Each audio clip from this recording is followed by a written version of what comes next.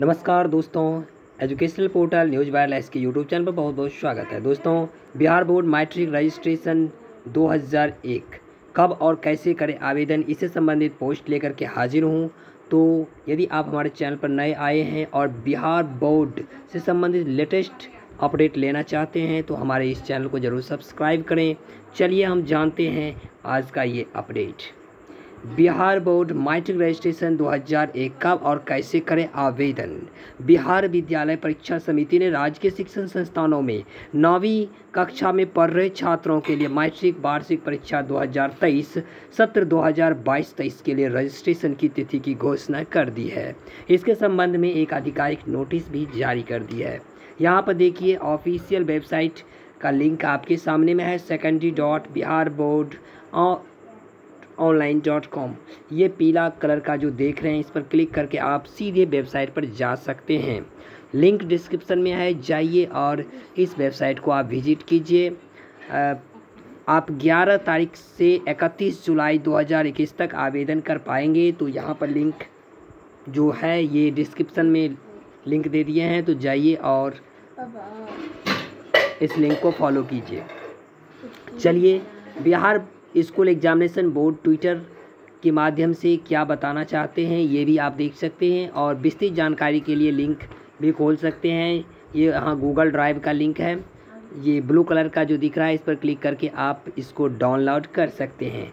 चलिए ट्विटर पर क्या नोटिस आया उसको देखते हैं।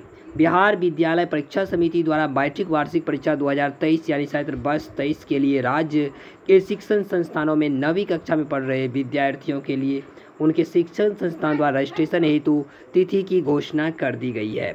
राज्य के माध्यमिक स्तर के शिक्षण संस्थानों के प्रधान अपने संस्थान के नौवीं कक्षा के विद्यार्थियों का रजिस्ट्रेशन समिति के वेबसाइट जो कि दिया हुआ है, पर दिनांक 11 सात 2021 से 31 सात 2021 तक ऑनलाइन रूप से करेंगे। अगला पॉइंट है, समिति के वेबसाइट पर रजिस्ट्रेशन फॉर्म की प्रति अपलोड है।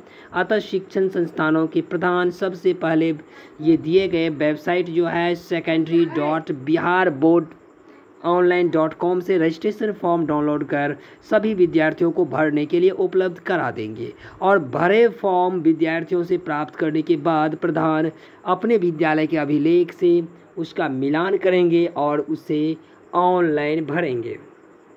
चलिए देखते हैं। अगला पॉइंट विद्यार्थी यदि अपने द्वारा भरे गए फॉर्म में त्रुटि पाते हैं तो उसमें आवश्यक संशोधन करते हुए अपने हस्ताक्षर के साथ अपने विद्यालय प्रधान को उपलब्ध करा देंगे, जिसके आधार पर विद्यालय प्रधान ऑनलाइन रूप से उनमें आवश्यक संशोधन करेंगे।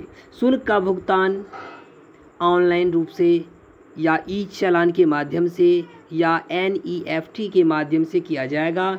और ऑनलाइन रजिस्ट्रेशन फॉर्म भरने या शुल्क से संबंधित कोई भी असुविधा हो तो हेल्पलाइन नंबर दिया गया है zero six one two, double two, three two zero seven four.